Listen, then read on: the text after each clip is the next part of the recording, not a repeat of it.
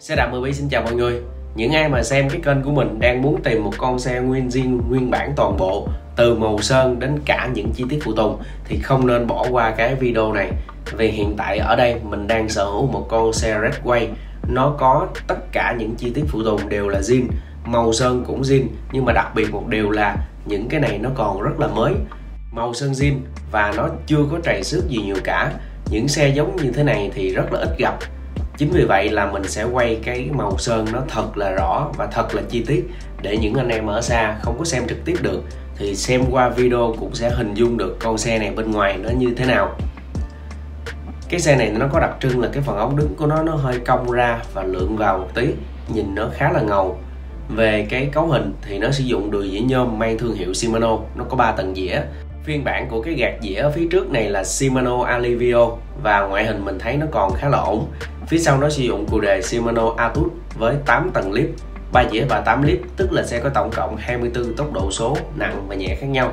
Đùm này là đùm mang thương hiệu Shimano, và ngoại hình của cái đùm này mình thấy nó còn rất là sáng và rất là bóng.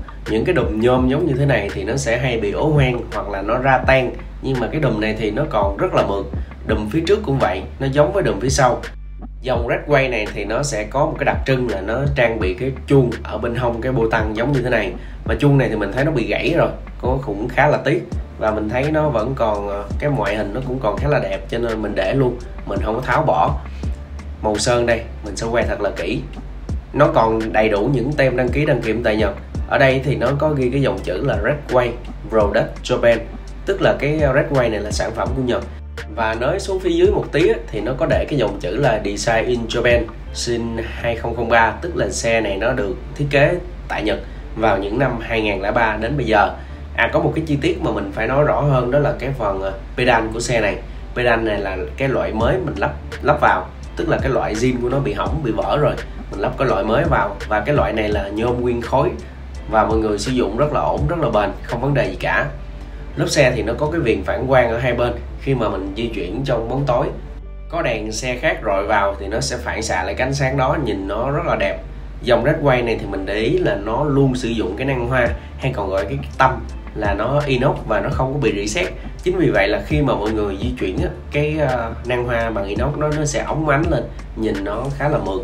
Để mình test cái cụ đề và sẵn mọi người nhìn luôn cái năng hoa mà mình vừa nói. 3 dĩa và 8 lít thì ờ, xe này nó có tổng cộng 24 tốc độ số nặng và nhẹ khác nhau. Cũng giống như tất cả những cái xe khác, thì trước khi mà bên mình đăng lên bán thì đều đã kiểm tra vệ sinh và căn chỉnh hết rồi. Mua về là mọi người chỉ việc dùng luôn, chứ không có cần thao tác gì thêm. Ống đứng của con xe này mình đo nó là khoảng 46 còn cái phần ống ngang là 53 cho nên người dùng cao khoảng từ 1m60 đến 1m70 dùng ok. Nhưng mà mình nghĩ tốt nhất khoảng 1m65 đến 1m70 dùng nó sẽ đẹp hơn ngoại hình con xe này ở phía bên tay trái thì nó cũng khá là tương đồng so với bên kia. Thông thường thì mình thấy là nếu mà xe nào nó trầy nhiều thì cả hai bên nó đều trầy, chứ nó không có riêng một bên. Còn mà những cái xe nó đã không có trầy rồi thì bên nào nó cũng mới như nhau. Và con xe này là một cái điển hình. Bên kia không có trầy nhiều và bên này cũng vậy. Mình sẽ quay gần lại hơn những cái chi tiết màu sơn phía bên này cho mọi người dễ hình dung hơn. Nói chung là những ai mà đang muốn tìm một cái con xe nguyên zin, nguyên bản ngoại hình còn đẹp rất là sắc nét cấu hình ổn và phụ tùng bền. Thì mọi người đừng nên bỏ qua cái con xe này. Tại vì cái con xe này á nó không có thường gặp đâu. Những xe khác phụ tùng zin phụ tùng đẹp thì nó cũng phải bị giảm tút lại cái màu sơn. Nhưng mà con này á, thì nó chưa có bị tác động gì cả. Nếu mà mọi người bỏ lỡ qua cái xe này thì mình nghĩ rất là lâu mọi người mới tìm lại được một cái con xe nguyên zin nguyên bản mà nó có ngoại hình với lại màu sơn đẹp giống như thế này. Đến đây thì cũng đã kết thúc video rồi anh em muốn mua xe thì cứ alo cho mình vào số điện thoại góc màn hình.